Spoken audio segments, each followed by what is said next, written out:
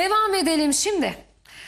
Birleşme Birleşme Partisi için nefesler tutuldu. Survivor'da çok meşhurdur Birleşme Partileri. Sen, sen kiminle birleşeceğiz sandın? Aa, ben dün Nagihan'ı da zap yaparken gördüm. Evet, onu da- Devamlı oyunu durduruyormuş. Bak ilk defa Survivor'la alakalı bir şey söyleyeyim. Evet. Kızıyorlardı öbürküler. Nagihan'la arkadaşları, Evet. diğer Survivor'lar biraz sıkıntı yaşıyorlar. Şimdiki hedef Nisa ama sonrasında eski sevgililerin birbirleriyle karşı karşıya gelmesi var. Survivor adasında çarşı pazar karıştı. Buyurun. Kıskanıyorsun kızım diye akıllara kazınmıştı. Ee, tabii yıllar önceki yarışmasıydı bu ama şimdiki yarışmada da şöyle bir sıkıntı var. Nagihan e, iyi bir atlet, e, güzel başarıları olan bir atlet, başarılı. Nisa Bölükbaşı onun doping kullandığını söylüyor. Bu haberleri benim dışında da herkes konuşuyor diyor. Nagihan çok büyük bir tepki veriyor tabii ki. 11 yıldır ben diyor başarılarım orada. Benim herhangi bir dopingle adım bile anılmadı. Sen beni karıştırıyorsun galiba diyor Doping burada. varsa zaten pro- programa da leke atmış oluyor. Nereden bulacak Allah'ın şey, adasında doping yapacak Tabii. bir şey? Nagihan çok başarılı. Şu an yarışmadaki en başarılı kadın. Çok hızlı. Ee, evet biraz kaos sever bir tarafı var ama başarılı bir fizik gücü var. Zaten yarışmacı olarak diğer yarışmacıların psikolojisini etkilemek de bir yarışanın e, şeyinde kimyasında olmalı. Yani Ki bunu e, en iyi yapan Nisa. Evet yani seyretmiyorum ben ama mesela öbürkülerin konuşmalarını e, yayınladılar. Şey diyorlar ikide bir de yarışmayı durduruyormuş. Bir dakika diyormuş öyle diyormuş böyle yapıyormuş. Psikolojisini falan. bozuyormuş. Öyle e, bu da bir yarışmanın şeyinde var aslında. Ona bakarsan Serencim Nisa karşı taraftaki Nisa diyelim senle biz yarışıyoruz ikimiz de Evet. atacağız. Evet. Senin rakibin senin yanına gelip yapıyor. Atamıyor, atamıyor, atamıyor ve o sırada düşünsene yanında sürekli atamıyor diyen bir kız var. Aa böyle bir şey nasıl izin veriyorlar? E veriyorlar işte psikolojik savaş da var orada yani. O yüzden senin söylediğin doğru. Bu, bu, bu, bu vah yani savaşta. O ama o, o da çok fazlaymış yani. De bu mesela Atamıyor, durduruyormuş. atamıyor, atamıyor, bağırıyor. Yok Nagihan çok iyi bir yarışmacı. Evet. Zaten vücutta yani kazanmaya odaklı bir yarışmacı. Bence yine kazanacak o. Yani öyle bir Final şey yani e, son dördü zorlar. Evet. E, Nagihan'la ilgili bu mesnetsiz iddiadan sonra Atletizm Türkiye Atletizm Federasyonu bir açıklama yaptı. Ve e, diyor ki 400 metre engelli branşında Türkiye rekorunu 2011'den bu yana elinde tutan eski milli atlet Nagihan Karadere'nin zamanında dopingten yakalandığı iddiası kesinlikle gerçeği yansıtmamaktadır. Nagihan Karadere'ye doping kullandığına, yöne- kullandığına yönelik haksız iddialarda bulunan Nisa Bölükbaşı'yı Survivor izleyicilerinin takdirine bırakıyoruz diyor. Atletizm Federasyonu açıklıyor bunu. Ekranda gördüğünüz gibi sahip çıkıyor sporcusuna. 2011'den beri engelli koşuda rekor Nagihan'da hala geçen olmadı ki bu arada orada 4 ya da 5 yanlış bilmiyorsam atlet var. En iyisi Nagihan. Yok Nagihan çok iyi ya. Yani Nagihan e, şey bir kız. e, zor bir kız. Ama zorluklardan gelmiş. Kendi özel hayatında da biliyorsunuz çok mutsuzluk kocasına bir sürü şeyler yaşadı. Kocası oradayken bir sürü şeyler yaptı.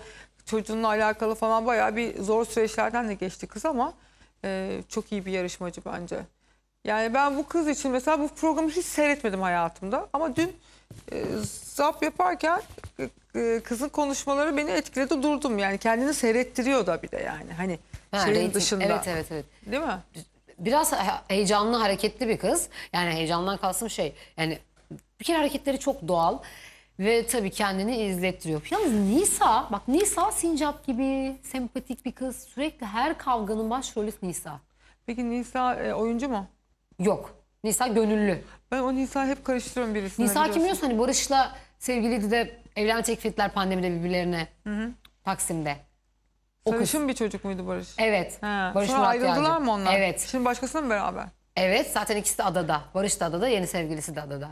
Ha demiştik ya bunlar hep beraber Evet. burada ne yapıyor? Peki şey e, şimdi nasıl oluyor böyle bir şey? Şimdi şöyle oluyor. Hiç görüşmeleri konuşmaları var mı adada? Hayır Eski. ama işte bu geç dün Barış Nisa'ya da ilk defa sataştı. Eski sevgilisine. Neydi? Yani buralı karıştıran sensin dedi direkt. Nisa'ya mı dedi? Evet. Ee, konseyde hem de. Ha. Ve yanında yeni sevgilisi varken dedi. Yani Yeni biraz sevgilisi nerede? Gidip bir yumruk alsaydı. Will Smith kadar olamadın o Geday diye. Ee, Tabii ki şaka o, hiç, yapıyorum. o çocuk hiçbir şey yok ya. Onlar tuhaf bir sevgililer zaten. Hiç sahip de çıkmıyor kıza. Tuhaf yani. Ha. Öyle duruyor yanında sadece. Vallahi benim öyle Bunlar olacak. Barış'la barışırlar mı? Yok. Ben o taraflardayım. Ben o... Yarışmanın o tarafındayım ben. Barış'la tekrardan elektriklenir mi her şey? Barış'la Bu Nisa elektriklenmezler. şeyde de çıkmadı mı ya? Seda Sayan'ın oğluyla. Bu o değil ya. Ha, öyle mi? Yok. Ben bu kızı her yere yakış yani her Yakıştırıyorsun. yerde zannediyorum. Ben bunu- bunu. anlamıyorum bu kızın nasıl bu kadar talep görüyor. Yani kız zaten enteresan bir Türkçeyle konuşuyor. Dediklerini anlatamıyor. Bir de böyle tavır, tavrı tuhaf ve hep böyle kavga etmeye yönelik bir tavrı var ama sinsi ve kibar bir şekilde yapıyor bunu. Nagihan gibi kırarak dökerek değil belki ama sinsi gibi. İyi bir yarışmacı mı? İyi yarışabiliyor mu? iyi. yani bu zaten All Star buradaki bütün yarışmacılar iyi ama hani Nagihan'la yan yana gelemez kulvar olarak. Yani Baksana Nagihan, Nagihan kollarına bak kollarına. Aferin Nagihan ya. Baksana kolları olay yani. Şu o tepkisini verebiliyor muyuz? Oradaki o ilk doping duyduğundaki tepkisini. Nagihan Verelim hep eğer anlatıyor. hazırsa. Buyurun. Arkadaşlarından duyduğum bir şey e, çevirdim ve daha önce öyle bir e, problemleri olduğu için de bildiğim için e, o an öyle bir e, yani ondan Pardon dolayı benim hiçbir problemim olmadı steroidle alakalı. Bir dopingden doping yakalanmadım testinden ben. yakalandın ya. Ben yakalanmadım. Oo! Rekorum 11 yıllık hala oradadır. Ben dopingden yakalanmadım. Siz nasıl bir iftiracı bir takımsınız? İnanamıyorum. Bir yaşıma, bir yaşıma daha bastım. Benim 11 yıllık rekorum. Aşili tendiniti nedir Sema çok iyi bilir ve hala kırılmadı. Ayağımın üzerine basamaya basamaya o rekoru kırmışım ve hala orada. Bana attığınız iftira da bu son olsun. Ben dopingden yakalanmadım. Yakalanan olanlar vardı. Ay yazık ama böyle Ama de. çok terbiyesizce bir şey ya. Evet ya kızcağızın bir de aşil tendonlarında sıkıntı İşte varken. ben de mesela şeye çok sinirleniyorum yani. Tamam hani öyle de böyle de başka türlü eleştiri ama iftira atmak çok ah- ahlaki değerleri Ve çok aciz. çok kötü yani çok aciz. Çünkü bir şey bulamıyorsun ya mesela karşı tarafa söyleyecek. O zaman iftira atıyorsun işte yani. Öyle kendini rahatlatıyor belki de o kızda yani. Ama e, ben Nagihan'ı daha önceden böyle bazen şey yapıyoruz değil mi hepimiz? Böyle davranışlar birisi çok konuştuğu zaman çok ona kızıyoruz. Öbürkünü haklı zannediyoruz. Onu hemen e, o daha sessiz sedasız Bravo. diye e, yazık diyoruz ya. Bu Evet, bu evet, bu evet, çok konuşuyor diyorsun bu. Aa, öyle değil. Ben mesela Nagihan ben de e, ön yargılıydım galiba biraz onunla alakalı. İşte böyle bilmiş bilmiş çok fazla ama kadına iftiralar atılıyor. E, kadına devamlı uğraşılıyor kadınla. Bugün Nagihan'ı anlıyorum mesela. Başarısından dolayı, yenilmezliğinden dolayı kıskanılıyor ve iftira atılıyor. O yüzden de işte bak bu kızda hiç iftira atacak yüz var mı? Baktığın zaman buna inanırsınız değil mi? Ama işte Değil öyle işte? olmuyor Aynen. işte öyle olmuyor. Bu arada e, o Barış'a sataşmış. Barış cevap vermiş. İğrenç bir takımsınız demiş Barışların takımına. Barış da ona cevap vermiş. Bu söylemden dolayı rahatsız olmuş tabii haklı olarak. Dün de Ardahan elendi. E, Bence Survivor- o Barış'ı unutamamış. Kız mı unutamamış? Ha. Ama kız ne dedi biliyor musun? Neydi? Geçen hafta.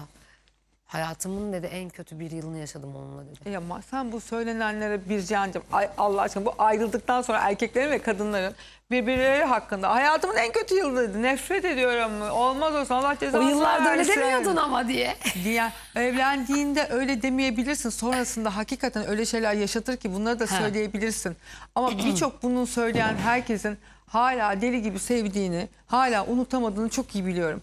Dolayısıyla her bu ay- ayrıldıktan sonra erkeklerin of kurtuldum iyi ki aa dünya varmış demesine kadınların da hayatımın en kötü senesiydi bir daha yaşamak istemiyorum deyip bu insanların 6-7 ay sonra veyahut da bir yıl sonra veyahut da Jennifer Lopez'e Ben Affleck gibi e, 15 sene sonra barışabilme ihtimallerini gerçekten hatırlatıyorum hepinize. Dolayısıyla ben e, kızgınlıkla söylenmiş hiçbir şeyi çok üzerinde duramıyorum.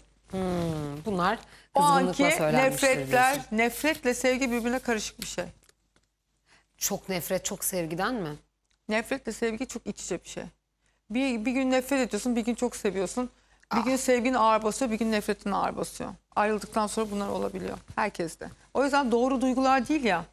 Oturmuş duygular değil. Oturmuş duygu bence bir beş sene sonrasına baktığın zaman. O zaman bitiyor zaten. Hala bir duygu varsa, hala orada bir kıvılcımlar varsa, konuşuyorsan hala birisi hakkında.